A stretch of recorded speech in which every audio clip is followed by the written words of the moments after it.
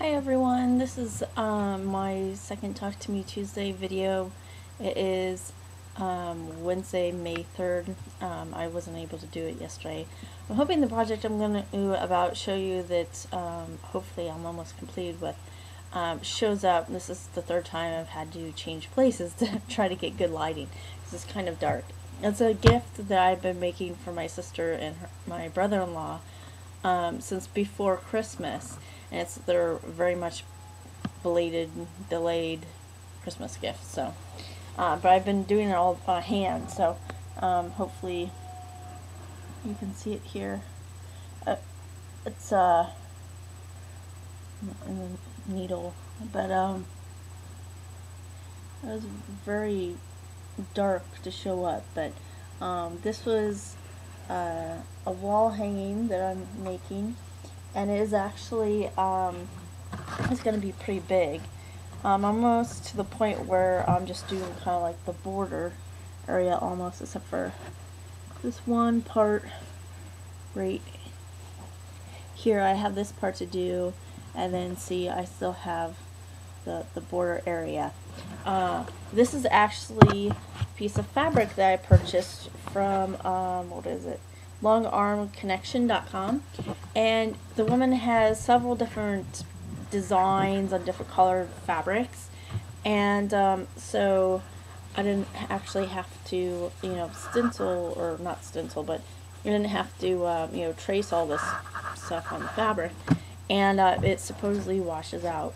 Um, but I found out that um, most of the the um, the thread is going over the part anyway, so I'm not quite sure, depending on what it looks like when I get done with it, if I'm actually going to wash or not. Um, except for, of course, the one area where they have, um, where she has all of her the writing there.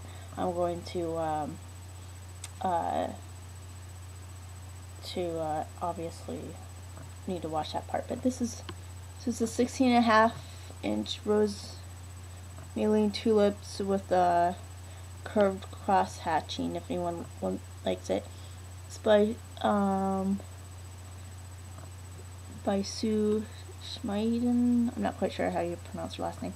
But it's um if you go to longarmconnection.com, she's got several other designs with different colors and stuff like that. So um I hope they like it. I'm hoping to get it completed this week. Um because I don't have classes because my semester's over. Um, and, uh, but yeah, so check out the website. Uh, I had also purchased a couple of things as well.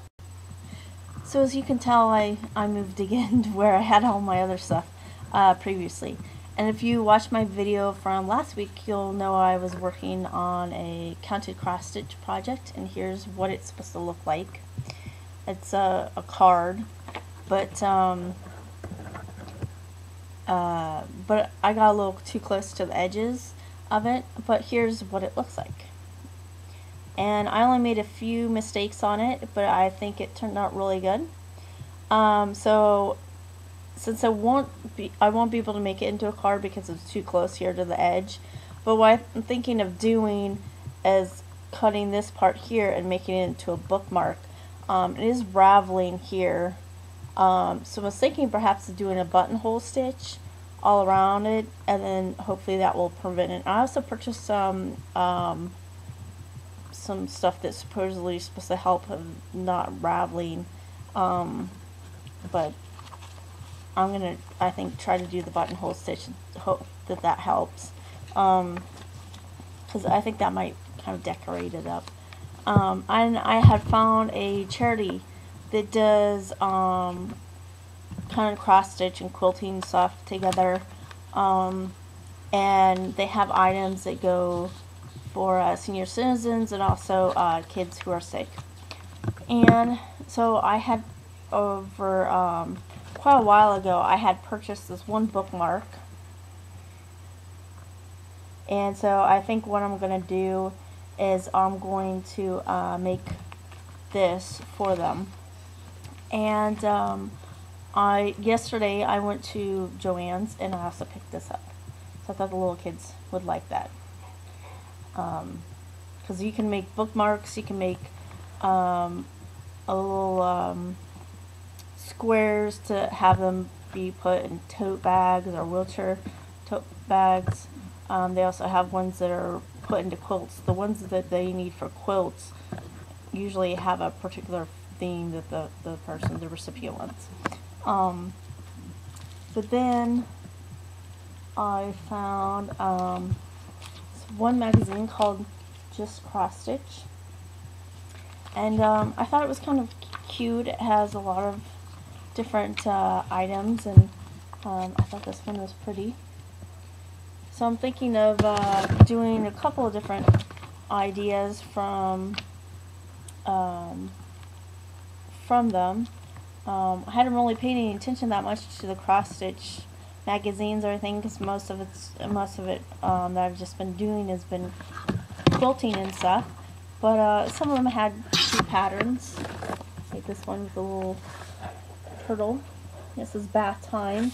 Then they have uh, another one the turtle is getting all ready in time to eat. He's hungry, so uh, so I thought maybe this might give me some inspiration to uh, have different patterns to work on different ones for kids and for seniors. Um, and they're uh, wanting not only stuff for children and for uh, women, of course, who are seniors, but also for men too. Um, so I did find um, one, oh, and I didn't bring it over here with me. Um, but I did find yesterday at Joann's, I found a little kit that had, um, that says Navy, and it says Anchors Away and it's got um, sea symbol and Navy emblems and stuff like that. It was only $1.97, so you can't beat that. So I thought that, that might be something um, that maybe guys would like, and maybe I could make part of the design into uh, a bookmark. Um, and then I found this other magazine. It's a UK magazine. It's called Cross Stitch Crazy. And so here's what it looked like. But for any fans of anyone who is a fan of Prince William and um, I guess now the Duchess of um, Cambridge, um, of course being from the UK, they had stuff with them. And um, so they had a few patterns with them uh, in here. They had one that uh, they had this one. I don't know if you can see. They have that one. And then um, they had another one that I thought was really really cute. Um, it's kind of like a like an invitation. I'm trying to find it here. I should really um, bookmark these somewhat or something. Oh, here's the other one. It's kind of like a, a memento kind of. I thought it looks kind of like an invitation type thing. Um, but uh, but I thought it was cute. And then they have several other designs in here, and um, I don't know. Maybe they like a lot of boiled eggs or something um, in Britain with their tea or something because they had all, uh, tons of different designs for egg cozies.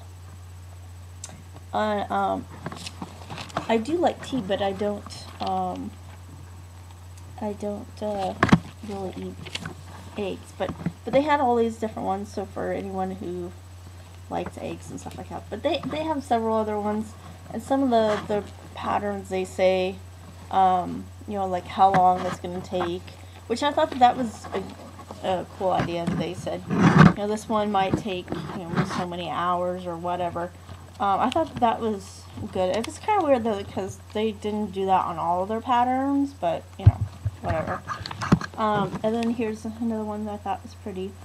Uh, but with the magazine, they also had some extras.